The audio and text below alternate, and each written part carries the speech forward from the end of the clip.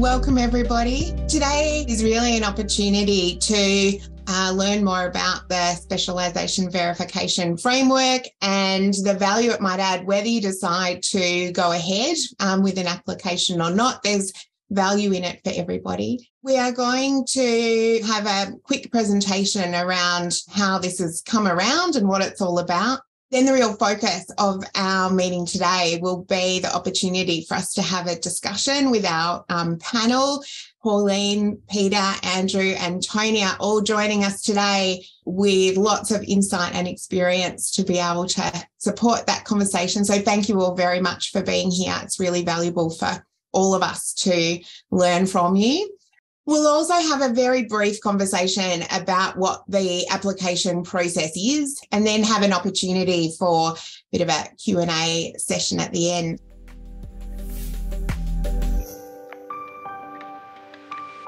Most importantly, while the specialisation verification framework is new, our responsibility to be delivering services that are safe and inclusive for all older people is absolutely not new. As part of the aged care quality standards, all providers are required to demonstrate that they deliver care that is safe and inclusive for all older people, including people with all sorts of experiences, circumstances, identities, and needs. And that a really fundamental component of the aged care quality standards is that we not only um, are respectful of people's diversity, but that we are set up to support um, and understand and be equipped to deliver care that is inclusive for all older people. So certainly that is a core part of the aged care quality standard. Standard one talks all about um, uh, being able to deliver respectful and inclusive care. And that is the standard that then underpins all of the other quality standards. Many people will be aware that the aged care quality standards are currently under review. Um, so while the standards, the numbers will change in the standards, certainly that expectation will not. Um, and if anything, that's really being strengthened. Uh, same with the Aged Care Act. So, in the Aged Care Act, um, it certainly talks about our responsibility to recognise and respond to diversity within the community. And the current version of the Act identifies um, a number of what they call special needs groups. Um, and that's really, again, about um, identifying um, diversity within our community. The Aged Care Act is also under review but again, that um, message around um, inclusion is being strengthened, although um, it appears that we'll probably be moving away from that language of special needs groups, which I think is um, a benefit because uh, that's probably not the most inclusive language. Um, again, being able to have services that are tailored to us and what's right for each person is also part of the Charter of our Aged Care Rights. And then, more specifically, in terms of responding to diversity, um, a few years ago, the Aged Care Diversity Framework was introduced, and that really outlined some more specific kind of um, practices in terms of um, being able to demonstrate that we're equipped to deliver inclusive practice for everyone. The Aged Care Act does um, identify, as I said, um, nine different special needs groups. And I think perhaps what is most important to recognise uh, is that these are not nine mutually exclusive um, communities or groups of people. There is a lot of overlap within and between the special needs groups, and certainly that there is a huge amount of diversity within um, each of these special needs groups. Uh, there is certainly not one way to work with um, people in rural and remote communities, and then one different way that we know works to working with veterans.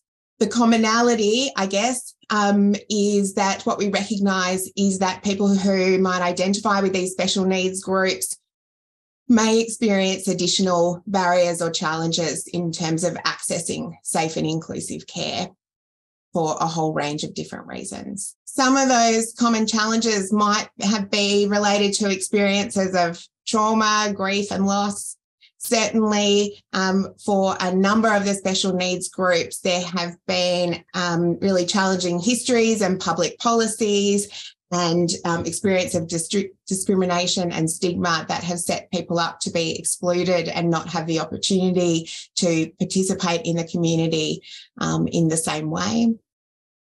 That there is a big flow on effect for many people around that um, social exclusion and experience that uh, ends up people being at higher risk of having limited access to resources and support, um, becoming more isolated, and uh, potentially having um, challenges with communication as well.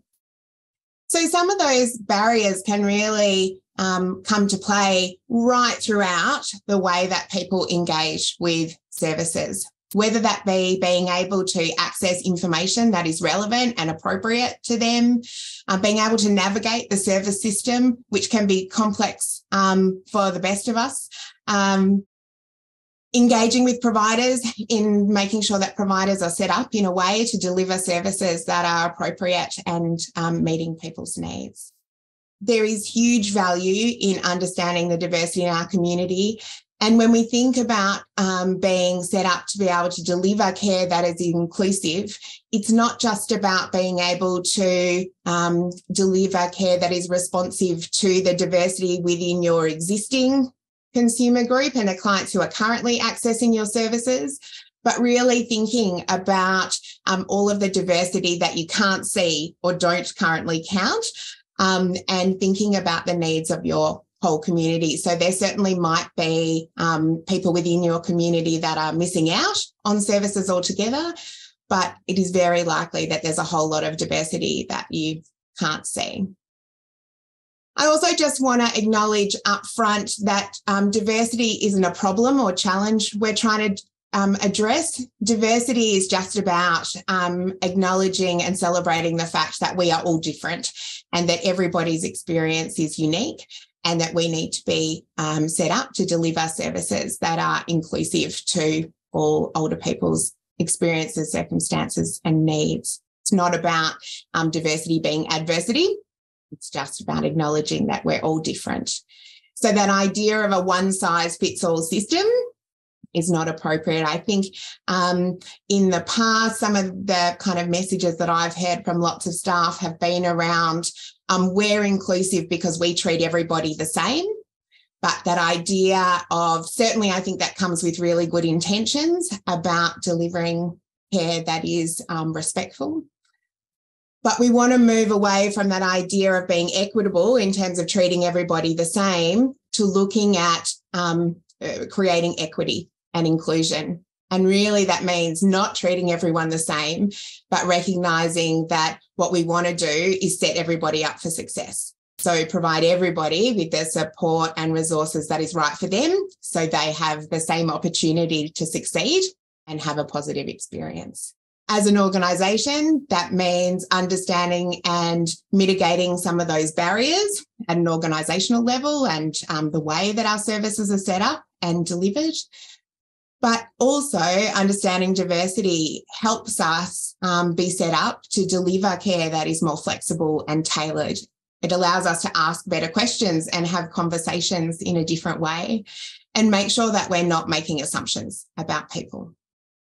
So all of those things put together are really about delivering person centered practice, which is obviously what we are all trying to do and are required to do.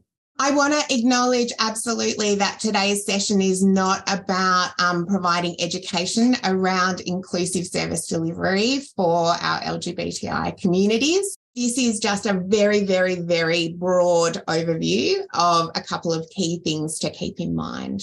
As with, in my experience, all elements of diversity and um, service delivery, I think even more broadly than that, um, the language and terminology that people and communities use is all different. Um, so, certainly working with um, our LGBTI communities uh, is a really good example of that. So, um, people might be familiar with lots of different acronyms LGBTI, LGBTIQ, LGBTQIA.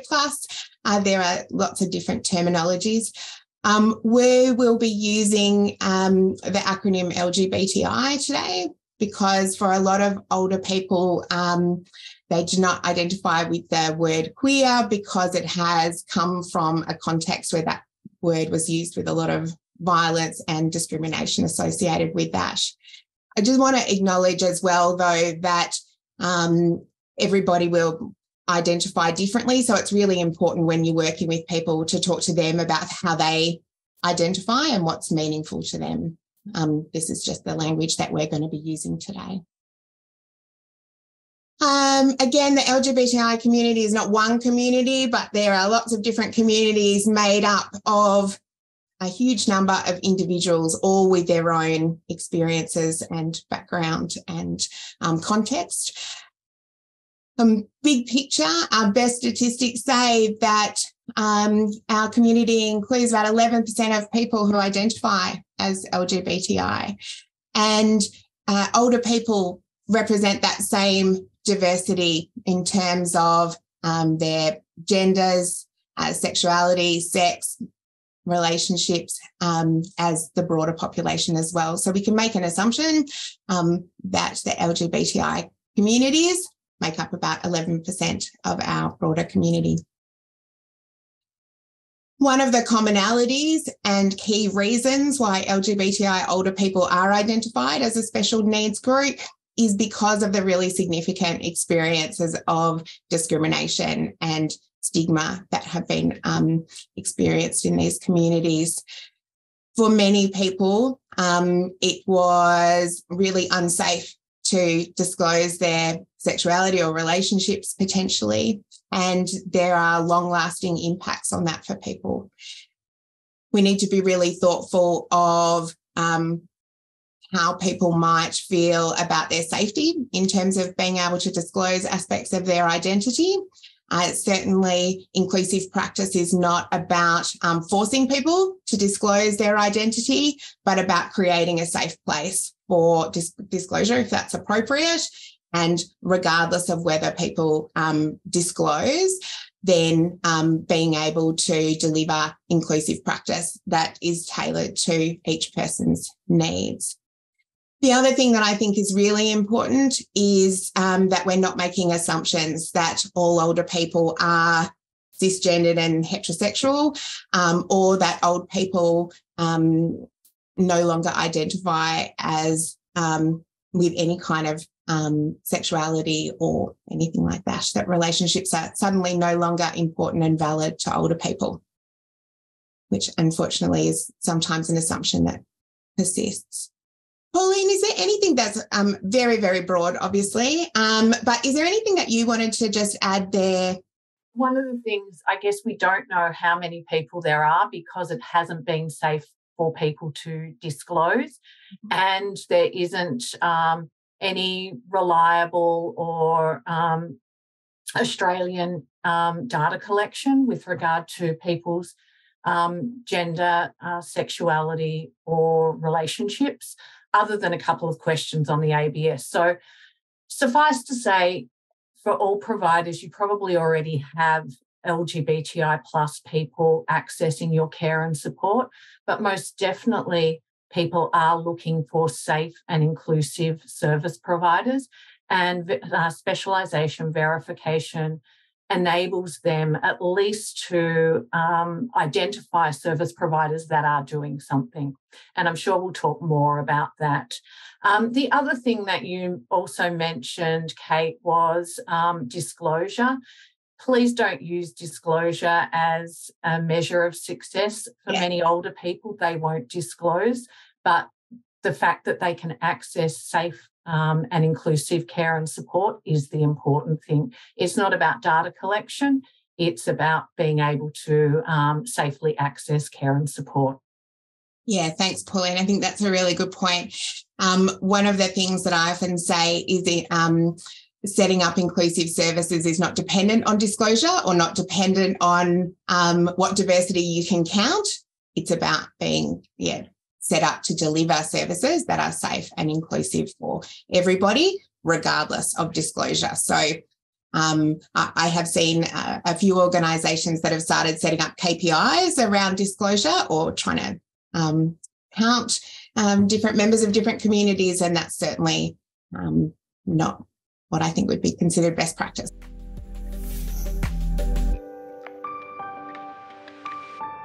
Let's look at the specialisation verification framework, where it's come from and what it's all about.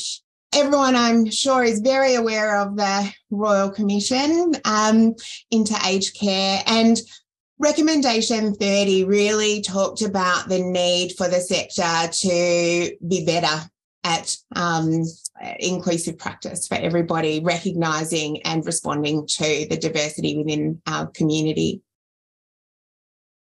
Looking at diversity as core business. It's not an optional extra, it's not an add on, it's not a nice to have. Diversity should be core business for all providers.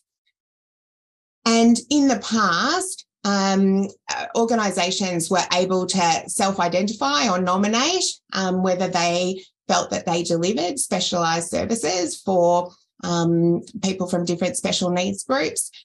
But the Royal Commission really identified that we needed to have more reliable information about um, that process. So, introducing verification to ensure that the information that was available to people was going to be reliable and people could make more informed choices.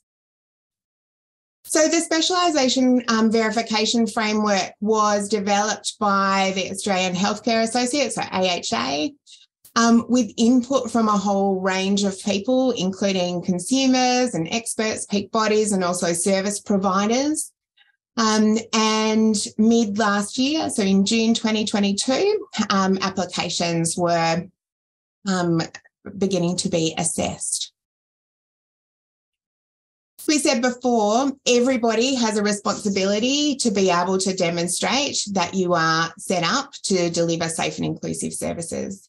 The specialisation verification framework really um, is set up to enable you as an optional kind of next step to demonstrate that you are going above and beyond and that you are um, equipped to be able to deliver specialised services um, for people that are certainly set, um, sensitive to the needs of people, but also that you're going above and beyond those standard ob- obligations of the aged care quality standards. Within the framework, there are specific criteria um, that are set up that you need to be able to provide evidence that you meet. Um, and I'll talk you through afterwards um, what that looks like.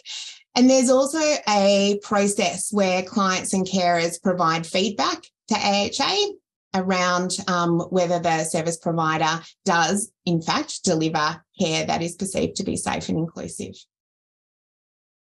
I mentioned earlier, um, well, and I think Lisa and I both mentioned that whether you decide to go ahead to apply for a specialisation verification framework, there is real value in understanding the framework for everybody really helps us provide that kind of benchmark for what good practice looks like and can give you some really good insight into how you can continue to progress your quality improvement towards um, inclusive practice. So we'll talk more about that um, as we go. The key difference, I guess, for um, providers that achieve verification is that older people and assessors and the community will be able to identify services that are verified.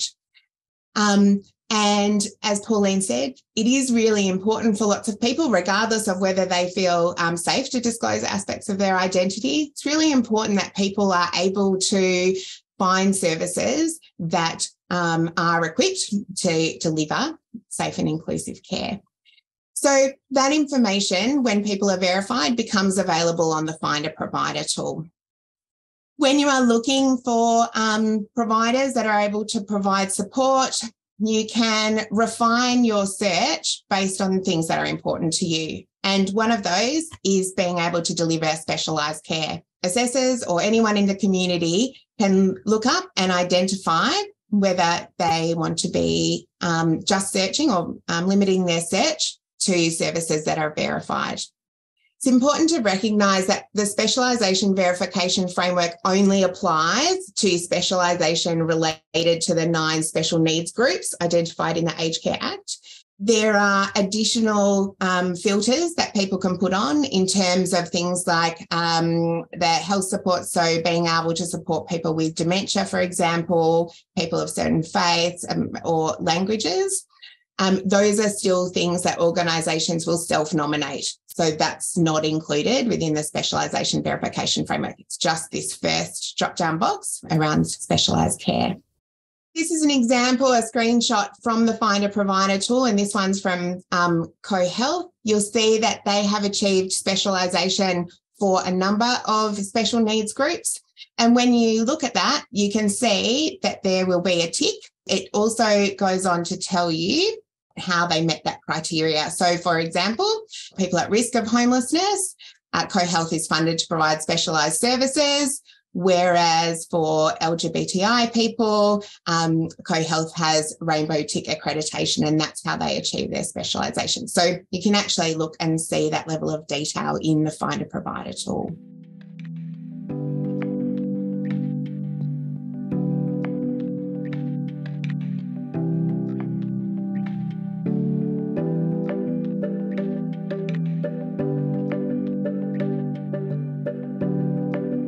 Than being able to identify um, what's available and who's available that has um, verification.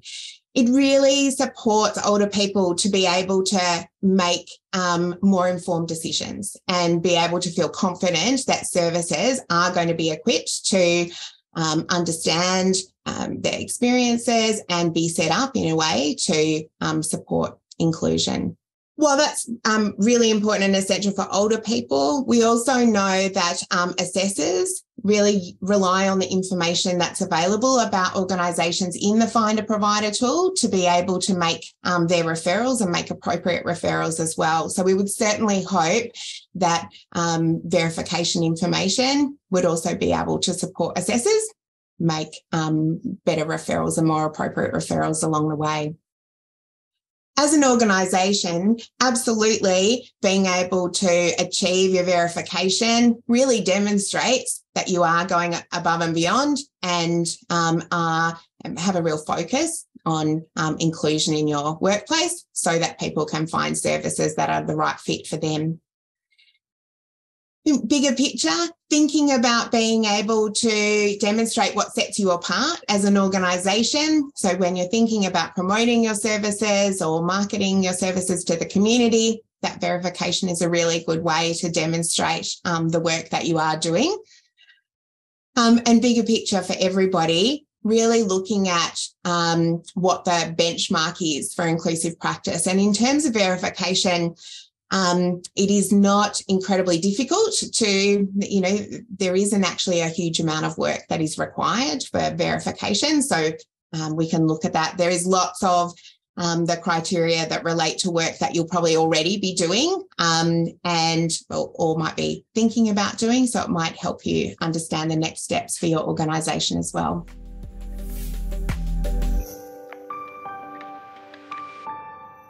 Before we sort of kick into the discussion, I might just ask Pauline, Andrew, Peter, and Toni if you would be willing just to give us a sort of one sentence introduction about who you are and um, the kind of experience that you might be able to share with us today. I'm Pauline Crameri. I'm the coordinator of Val's LGBTI Aging and Aged Care. And Val's is a program of Rainbow Health Australia at the Australian Research Centre in Sex Health and Society. We're here to support you to be able to understand and meet the needs of older LGBTI plus people accessing or perhaps not accessing uh, your care and support. And most importantly, we offer a range of information, resources, and training to enable you to understand and meet needs. And most definitely, um, we have a range of workshops coming up with regard to specialisation verification framework and LGBTI people. And we'll share more information about that um, as we go through this morning's session. Andrew, over to you. I'm Andrew Rogers. My pronouns are he and him, and I work very closely with Pauline. I am part of the Val's team as well, and so play a, a role with Pauline in making sure not only that service providers are informed about what LGBTI inclusive practice is. But also, we do a lot of work with empowering older people from the communities to understand their rights and to understand what things like specialisation verification might mean for them when they're searching for services and care providers. Peter, time to shine. Hello, everybody. My name is Peter. I'm an out, out and very proud um, older gay man. Um, know Pauline and Andrew well. I think it's important for me and people like me to be here um, because our personal experience, just seeing a face of somebody who's saying, I need you, um, is important.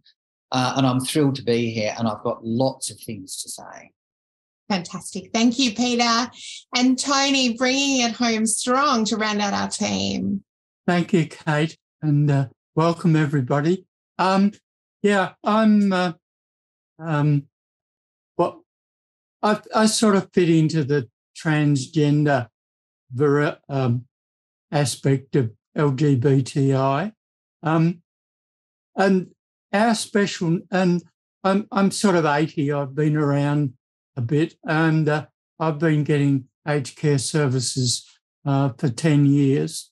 And uh, I think it's important that um, we do everything we can um, to make sure that transgender or um, non binary people are accepted.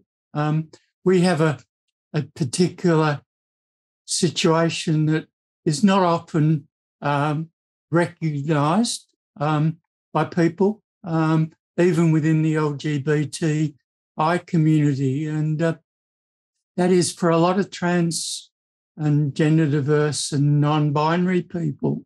Um, we, we can't we can't hide who we are.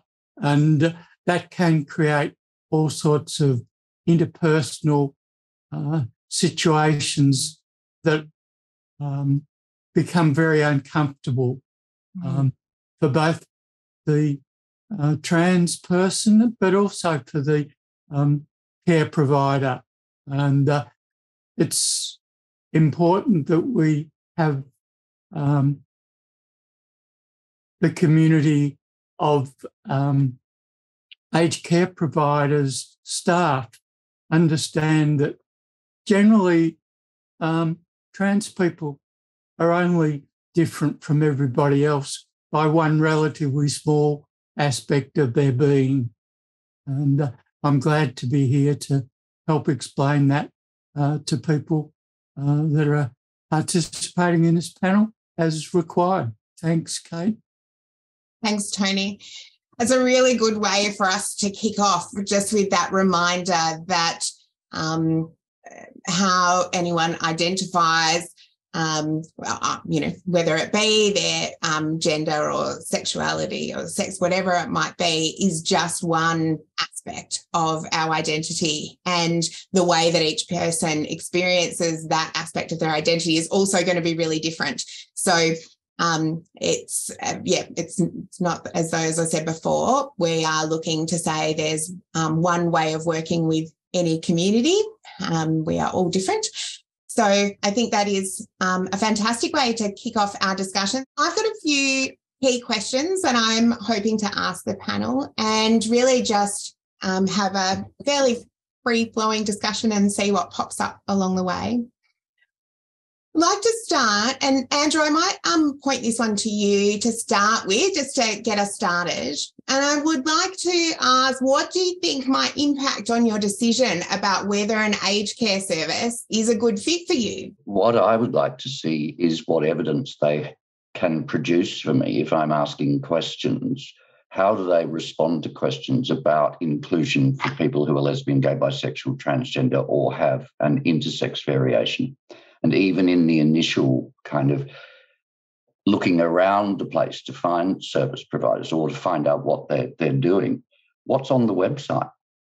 What, what evidence is there? What can you show me that might lead me to have a level of comfort in having a conversation with you?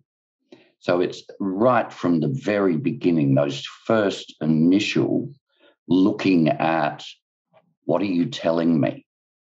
About what work that you're doing. And specialization verification is, of course, going to make that easier. But I think one of the interesting things there, of course, is that it is an opt in thing. You know, organizations will choose to which specialization verifications they have. So that is going to make it, on the one hand, easier to find them. But secondly, it's also going to make me hesitant. What happens if there's none in my area or nobody's doing it? Having the information, what are the visible signs? What evidence can you produce? If you've got the specialization verification, especially tier one, that gives me confidence to actually have the conversations with you. Fantastic. I think that idea of that messaging, what can you see, is a really good one right from the beginning. So it might be information on your website, but even um, cues in the environment and things like, you know, having, do you have pictures of all um, straight, white, heterosexual people, you know, um, displayed either, you know, in person or in your brochures or whatever? Or is there diversity in the um, imagery and things that are included as well. Yeah, that's a really um, great start. Thank you, Andrew. What about for you, Peter? What might be some other things that um, might impact on whether you think an organisation is a good fit for you or what you might be aware of for other LGBTI people? Within our diverse group, there's a whole lot of diversity. Yeah. So I agree with Andrew that that people like him, maybe people like myself, um, we're up front and we will disclose and we'll ask questions and we'll do all that stuff. There are some people who who are a little bit more reticent to be that out. Um, and so the rainbow tick thing is a start. It at least means that they've got somewhere to go. Um, I think it's important to then know that when, like, um, a little bit of history, I care for a lady who needed a home care package. package. I helped her do that. One of the things that made us decide who we would pursue was our initial contact because we disclosed up front and there's a thing about how people react. Um, and that was important for us.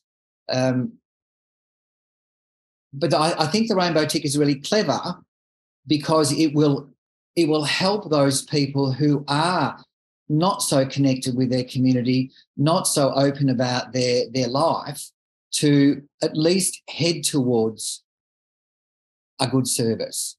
Um, saying that, that means that they really, really do have to get into that rainbow tick thing. If you, if I go and connect in with that group and I'm a quiet, retiring um, older man, and suddenly I've got people saying, What happened to your wife? Hello? Um, that doesn't work for me. Yeah, absolutely. So it's uh, certainly something um, you've got to walk the walk. Uh, absolutely, if you are, um, whether it's through Rainbow Tick accreditation or um, meeting other criteria for the specialisation verification framework, it's not a matter of getting that tick and then moving on and going about standard business. It's really about being able to integrate inclusive practice into the way you work, you work day in, day out. I, I just want to say that um, the lady that I care for is a lesbian woman and she's in care at the moment in, in the hospital.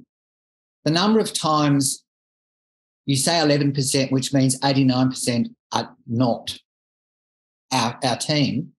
Um, the number of times that I've been asked in that hospital by official hospital people is Maggie your wife? Mm. That idea of just making assumptions about people, I think, is a, is a really important one to think about, um, and being able to be equipped to ask questions um, in a more inclusive way. So, you know, if the old standard way of asking about someone's social situation might have been are you married? How many children do you have? How often do they visit? Um, that actually excludes lots of people for lots of different reasons. So, yeah, and is making assumptions and potentially forcing people to disclose information that, that they don't want to. Um, instead of what we're actually really trying to do is understand who you are and the context of, um, you know, what's happening and who's around you, those kind of things. So, yeah, that's a Excellent point. Thank you, Peter. Toni, is there anything else that um, you you would look for or that you're aware of in terms of important kind of cues that might show you that a service is potentially going to be inclusive and safe for you? Um, well, I'm a little bit different to Andrew and uh, um, Peter um, in my approach to what's got to be done. Um, I I generally I prefer to work at the coalface um, rather than at the organisational level, and uh, it's very hard to um, develop a useful indicator um, as to how the staff of an organisation is going to be a fit for for yourself when you're the you're the service recipient and uh, your major contact is with um, staff on a day-to-day basis. Mm-hmm. Um, one of the one of the indicators that I use, and um, I must admit, I've never had to go through the the selection process um, since the rainbow tick uh, has been around, um, because I've been getting services for for ten years, and uh, um, I think the what I need, what you need to uh, have access to, is um, personal experiences from other people about how the service has treated LGBTI people. Um, um, there, are, there, are, there, are, there are two things that are, are possible to do. Um, one is um, um, refer back to uh, organisations like VALS and whoever maintains the Rainbow Tick accreditation um, to enable you to get contact with um, community members that are already being um, serviced by that organisation. Mm-hmm. And they, they'll probably be there and have not um, gone through any um, review of the, the organisation's uh, publicity or anything. Um, um, and this is this is something that I think the age community, aged care community as a whole doesn't really understand is that um, the generational differences between the workers and the um, aged care um, recipient, uh, service recipients is the um, the difference in attitudes amongst the generations, and uh, a lot of what I have to would have to say about aged care organisations has to do with um, um, the staff not understanding the attitudes and expectations or lack of expectations in a lot of cases that uh, aged care recipients have um, that are different from the, the generation of the people providing the services. Mm. And uh, perhaps we can talk about that in later on. But yeah, um, getting a, a, a cross reference from someone at who's who's had coalface experience with the provider.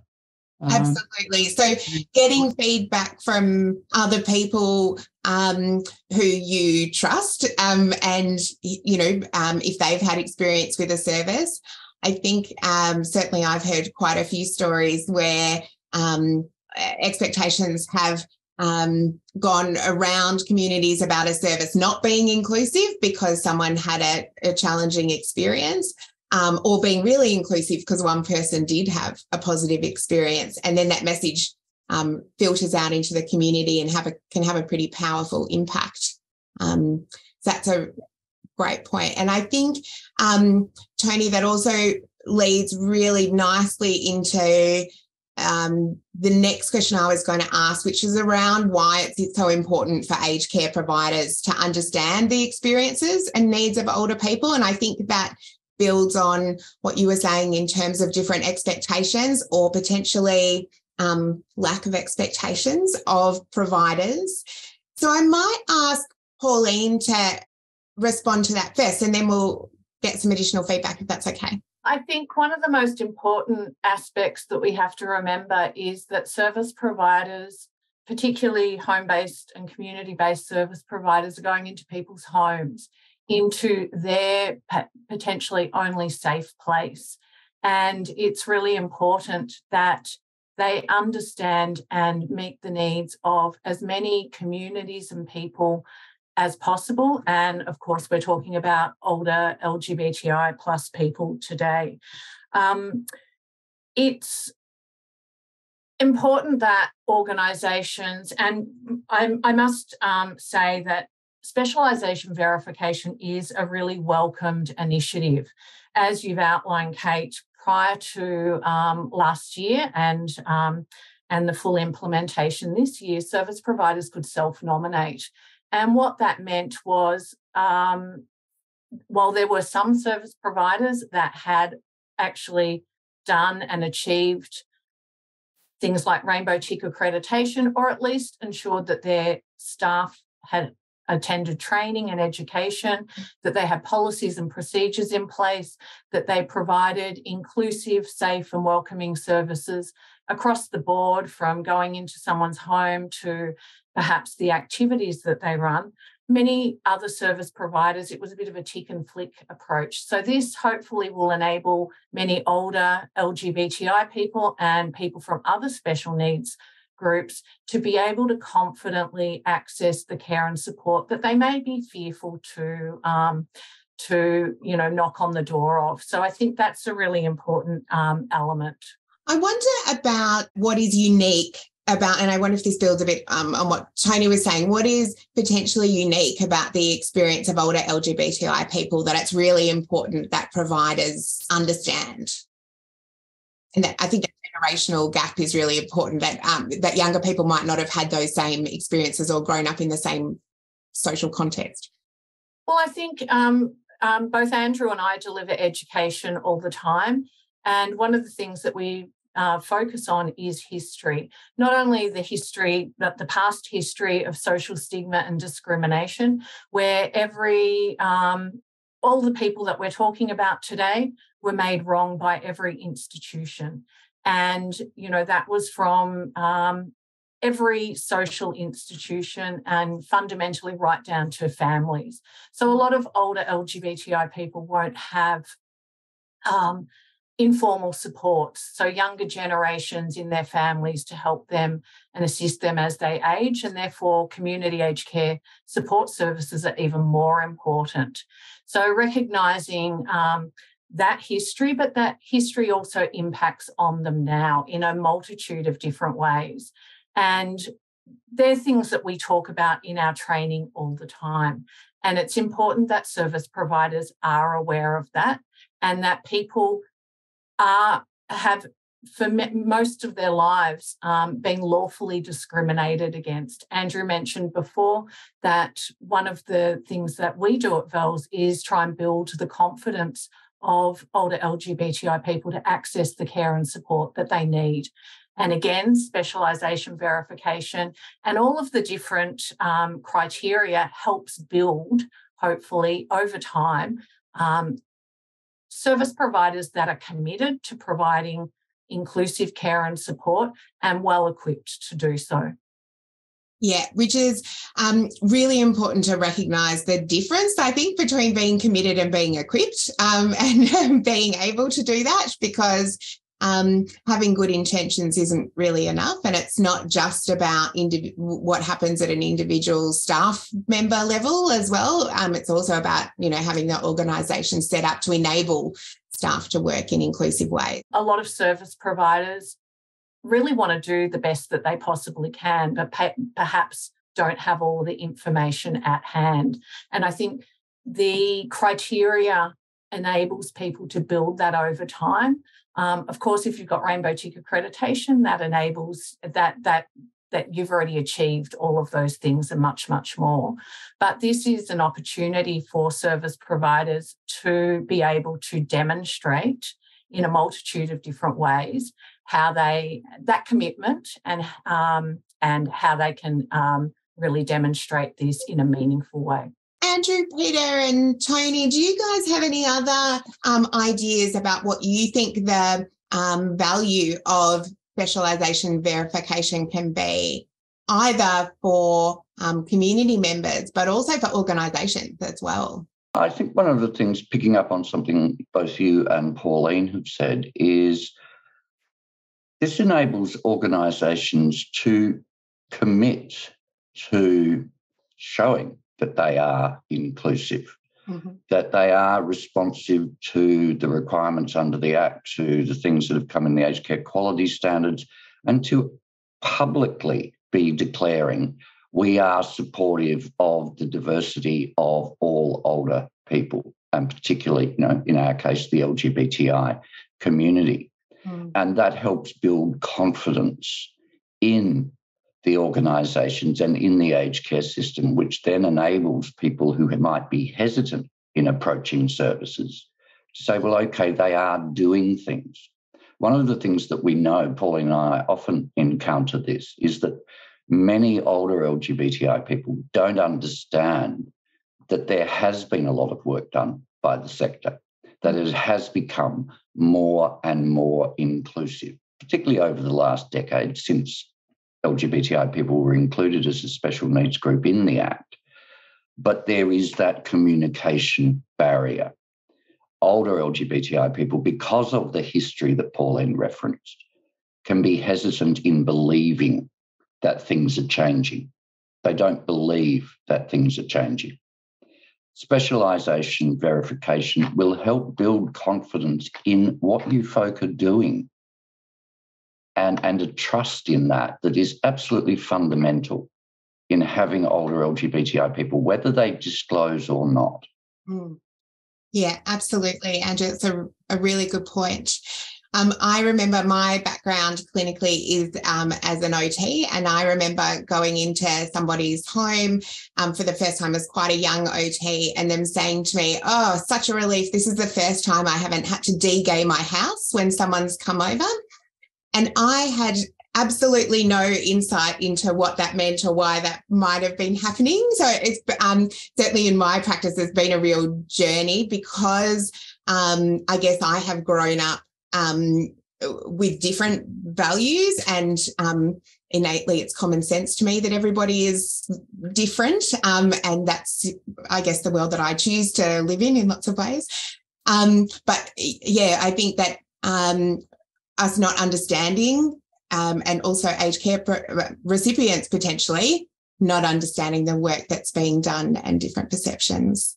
One of the things that we also talk a lot about and are really trying to change is that there has been a, a over the past decade or so a very strong narrative about fear oh, older LGBTI people are terrified of aged care. And usually it's the going into aged care um, tagline. Mm. And rarely is there any communication around um, rights and the requirements in the sector.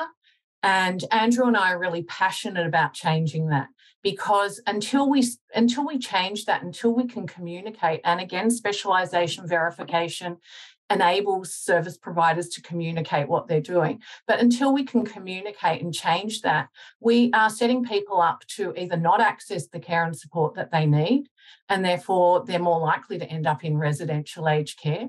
We're also not recognising the amazing work that's been done, and particularly in Victoria with um, and around diversity over the past decade. Mm. And it's um, really irresponsible. So we have to change that narrative. We have to stop and um, journalists always contact us and say, Oh, we want to talk to some older LGBTI people about their experiences. And I say, Well, I can put you in touch with people to, and they can talk about their good experiences and some about their bad. Oh, we only want to talk about the bad experiences. And we have to change that. We have to stop that. And we have to communicate that service providers are required to do this. Um, they're required to be inclusive, mm. and um, and specialisation verification is a very tangible way for them to demonstrate that. And of course, not all service providers will go down that path, but um, again, it's about communicating that this is a requirement. Bottom line, service yeah. providers can't discriminate. Yeah, absolutely. And I think that um, we all have um, responsibility that we hold in terms of that ongoing education around um, really, you know, even at the highest level, what aged care services and particularly community based aged care services are here to do. It's certainly that entire assessment and service delivery um, approach is not designed to catch people out and pop people into residential care if they you know are not doing what we think they should be doing or whatever it might be. It is really about supporting people in a way that makes sense to them live the life that they want to live. Um, and part of that is obviously um, responding to diversity. So yes great point. If there was one thing that you would like to see aged care providers doing to be able to demonstrate that they are inclusive for older LGBTI people, what might that be? And I, I just want to acknowledge that I recognize this is simplistic, but just um, some practical suggestions. Show that they actually are. How do you think? Well, I actually thought about this. Great. And dare I actually even suggest? I live in a rural setting. Mm-hmm. There's always there's always something going on in the town where there's a stall. Um, it would be easy for the local providers to rock up with their flyers and stuff, or even some of their staff to sit there and talk to people.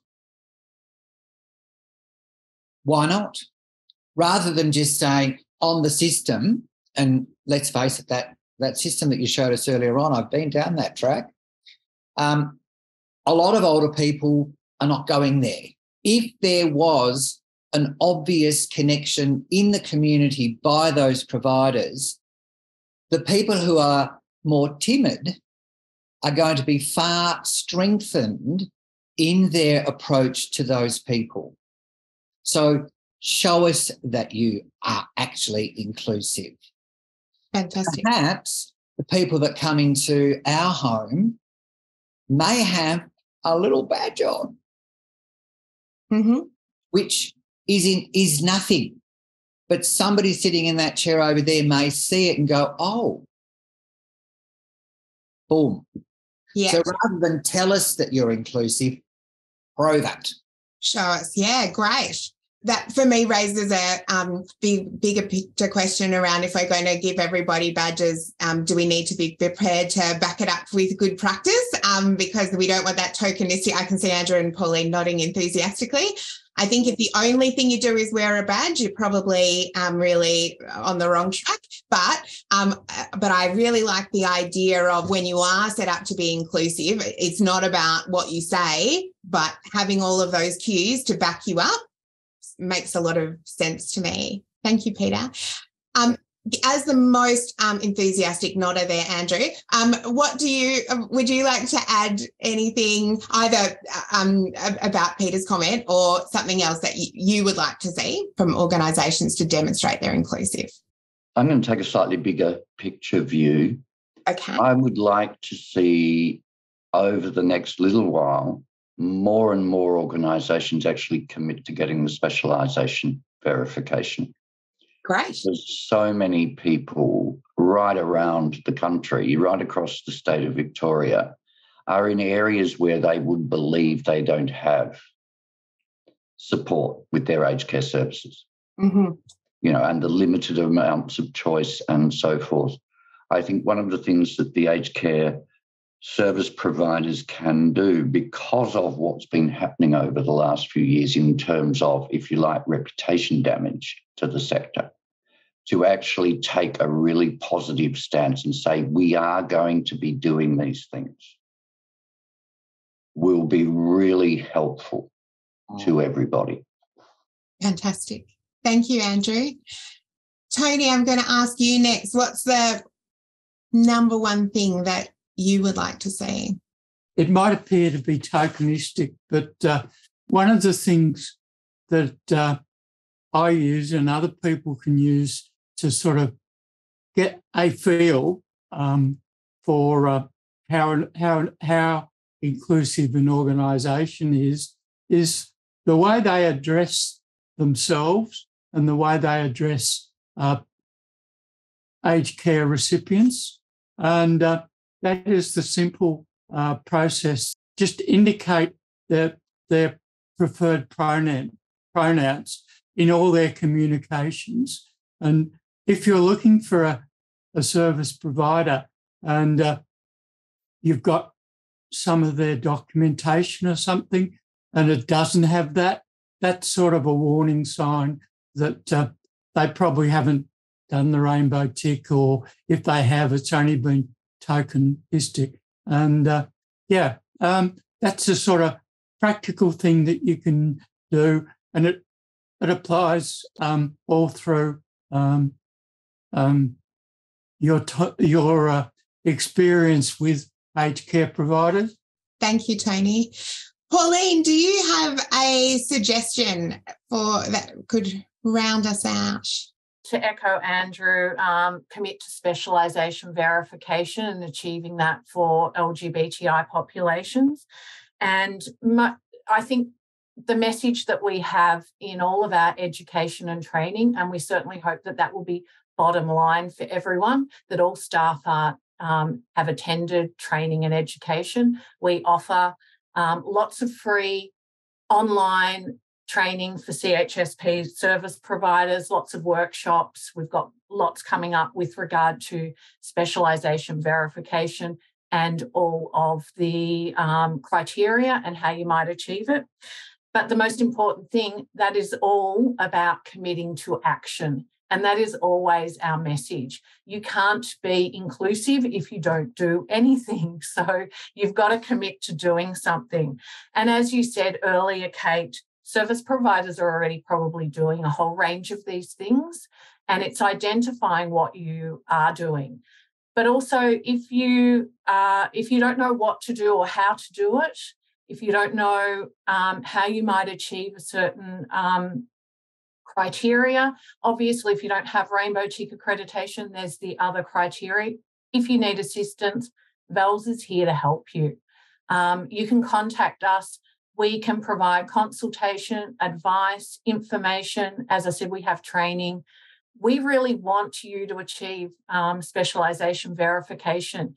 It enables people to confidently access the care and support that they need. So, most definitely, um, that's my wish list.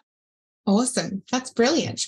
And leads perfectly, Pauline, as if you knew what was going to happen, into a bit of a discussion around the application process.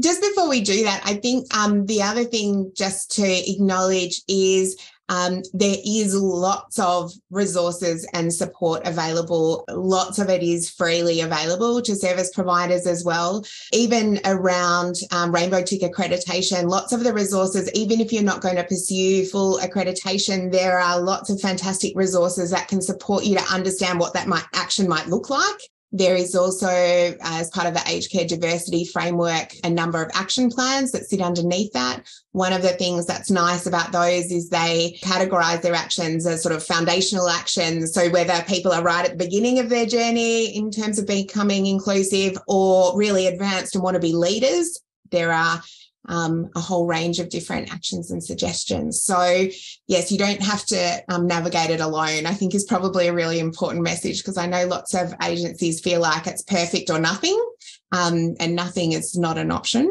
Um, so, um, it doesn't, you don't have to be, a, no one's 100% perfect. Can I support that, um, Kate, by saying that it's a journey, not a destination? That you, there's always something else to do um, with regard to inclusive practice. Yes, very good point. Thank you, Pauline.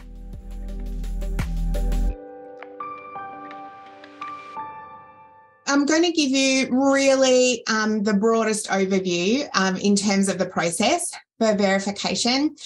Um, as Pauline mentioned, um, you will be facilitating some additional workshops that will look in more detail around uh, the process and the application and the different criteria, but I'm just going to give you the really big picture of it.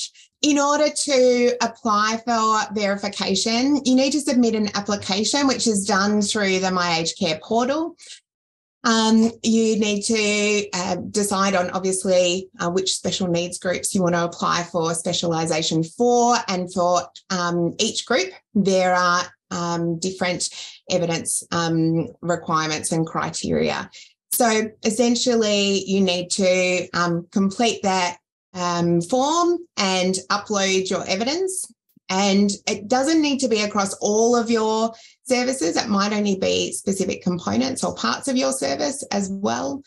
Um, so you get to um, choose which services that's relevant to. And then once you've submitted that application, AHA go through um, and assess your application. And there's also a process for them to collect feedback from um, clients and carers who are accessing your services.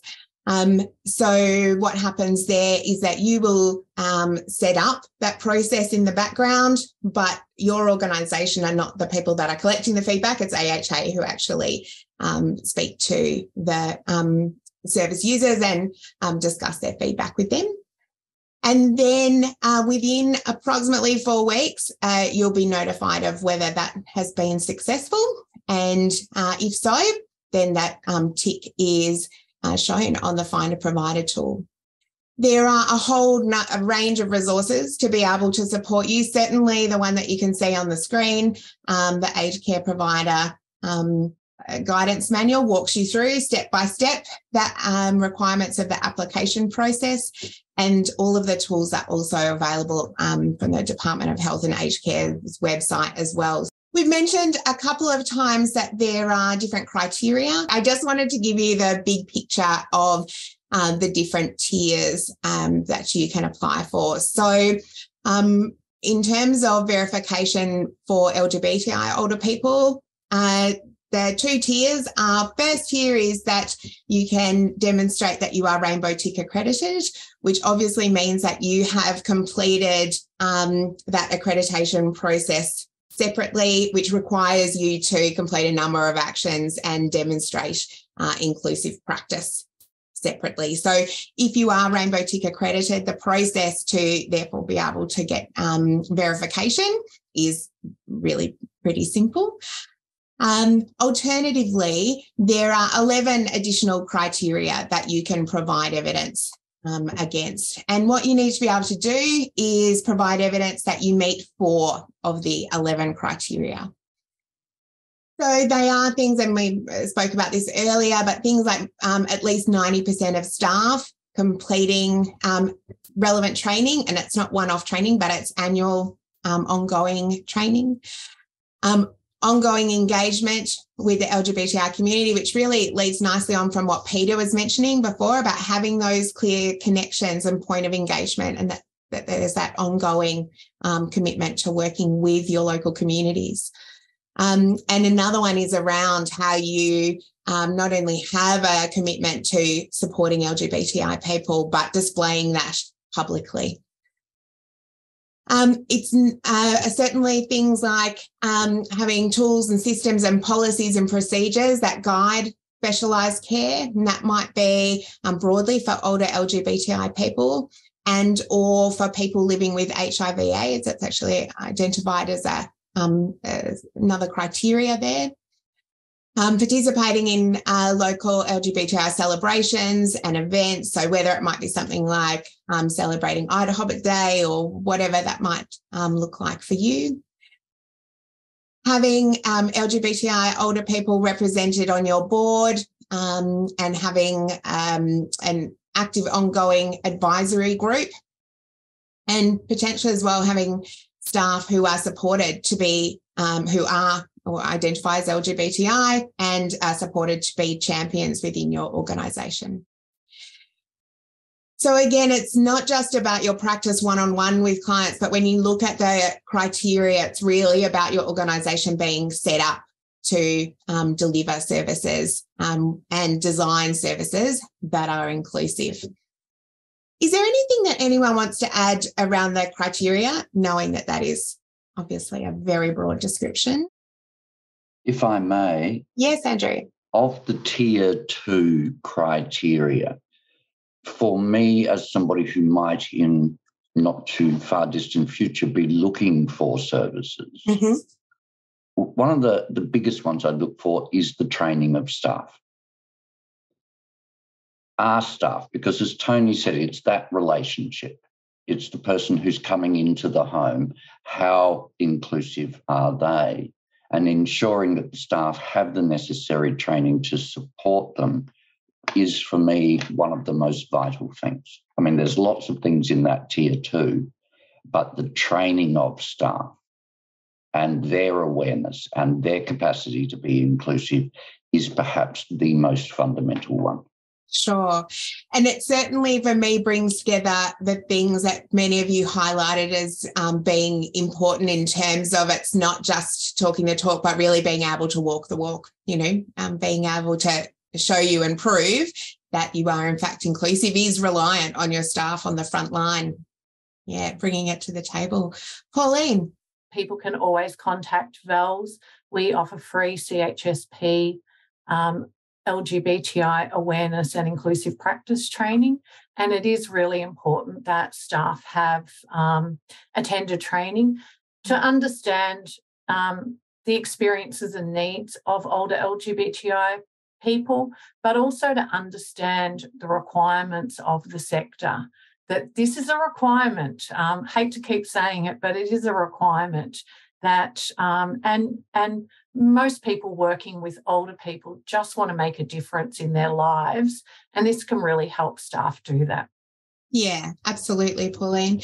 And that I think comes back really nicely to one of the first comments that you made in terms of um, we want services to be set up and equipped to be able to deliver care that is inclusive. Um, and that requires a multifaceted approach. And Lisa has just mentioned in the chat as well, it's not just the forward facing staff that need to be trained, but right across the organisation. Um, you know, top down, bottom up, everybody needs to be on the same page. That's probably one of the most important things about making it work. Most definitely. And we are um, in the process of planning workshops and um, seminars around each of those tiers. Uh, well, sorry, each of the tier two um, criteria.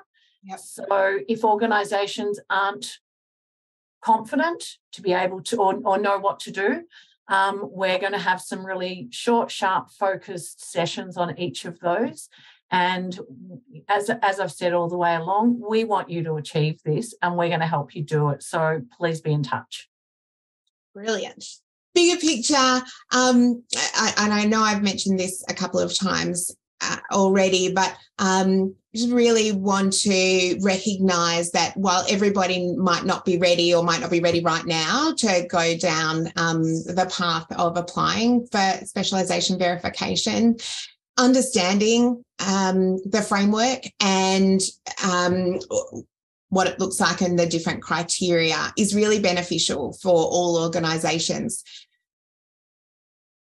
It reminds us, I think, that um, it's not just about what we do face to face, but the way that we design services, um, our model of care, and the way that we deliver them, and also the way that we collect feedback and learn about what we're doing and what we could be doing better or differently or more of or less of, are all really important components that um, as Pauline said, it's a journey, not a destination. No matter how far down the track you are, there's always more to be doing. And that everyone has a role to play, regardless of um, your role in an organisation. Um, there is information in there that helps everybody demonstrate their alignment with the aged care quality standards. And I think it's um, really apt that I'm going to say Pauline's catchphrase is it's a requirement because it absolutely is. Um, this is not um, a bonus feature. You do need to be able to be demonstrating um, inclusive practice for all older people. Again, regardless of whether people choose to disclose um, any elements of their identity or not um, as part of um, our ongoing um, requirements and aged care quality standards. Because what we all want to do is deliver the best possible services that we can to um, our communities. And I don't think um, many people are working in this sector for the glory and glamour and um, big paycheck. We're doing it because we're committed to that part. So um, that's you know important to keep in mind. The sales pitch is probably not the ticking the boxes, but making a difference.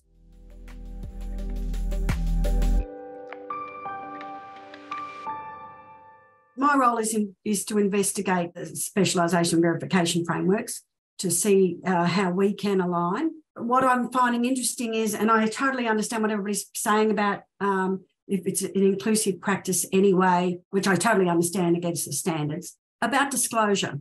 Yes, you don't want to, when assessing, um, when the assessors are doing their questioning or when service setups occurring, you know, have a question about which do you identify any of the above.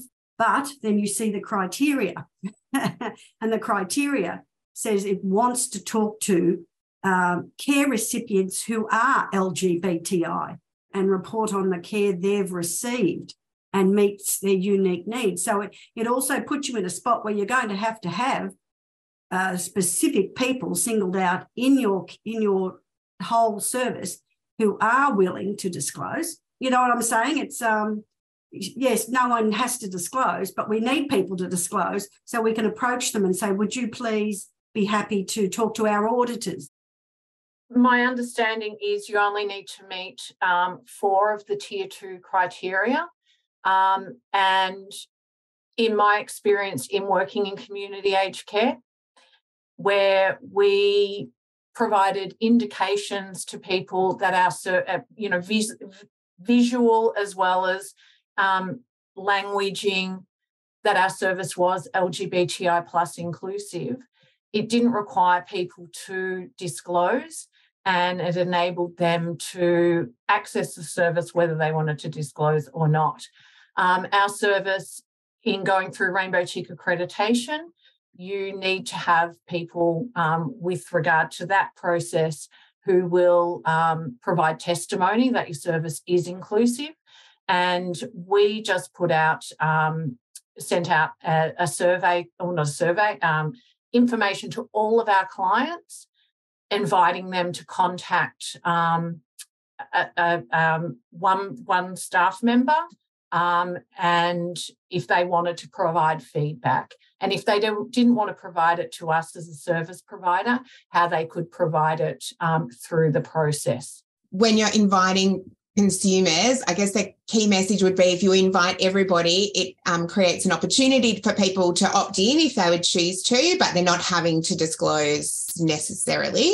Um, and yeah, that's certainly the process that I have been familiar with in the past as well. And most definitely, a lot of um, clients probably won't want to disclose or may not have disclosed to the service provider or to staff that they're working with more commonly to people that they regularly see who are providing care and support, but they may not want the service provider to know because of that history of discrimination.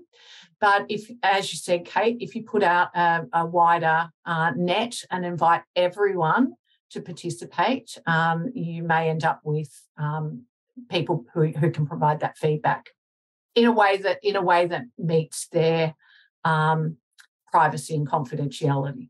Yeah, I think as well, it also um, provides another really valuable, potentially opportunity to reinforce your commitment to inclusion to your um, all of your consumers to be saying we're working towards um, specialization verification, and here's why. Um, that uh, demonstrates very actively that you are um, whether or not you're currently considering yourself to be, you know, a hugely high achiever in the space, but it certainly um, reinforces your focus and commitment. So I think that in many ways, um, it's another way to message um, and build on what Peter was saying about prove it, show us. Um, yeah, that's a pretty clear message. Yeah, communicating to everyone for everything, not just the 10 or 35 or 92 LGBTI plus consumers that you think you might have. Communicate it to everyone um, because there'll be people that won't have disclosed. There's always the possibility um, that getting accreditation for LGBTI um, might in fact help your staff because um, you may have members of that community in your staff that you don't you don't know are LGBTI. Um, so um, there's a there's a two way benefit potential there. Yes, great point, Toni. Um, and one of the criteria is around having um, LGBTI um, community, you know, staff members supported to be champions.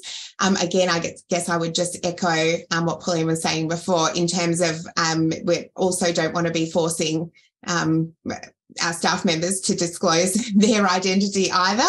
Um, but yeah, again, creating that opportunity for support and inclusion there is really valuable.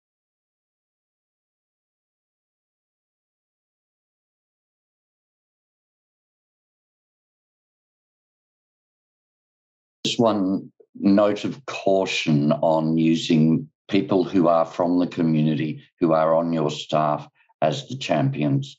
Mm. Sometimes it can feel for people from the community like they are the ones who have to carry the work, when in fact the work should be done by every staff member. Mm. Asking somebody from community to stand up all the time and be the one point of contact and all of that, unless you're rewarding them for it, is actually a burden for them that should be shared right across all staff. Yeah. All staff should yeah. understand the importance of this. Inclusive practice can't be one or two staff members. Yeah, yeah, absolutely. Um, but I think uh, that um, is a really good point of it. Um, shouldn't need to be uh, community members that are responsible for the education of everybody else either, um, that we all have a responsibility to um, learn and upskill and be resourced ourselves.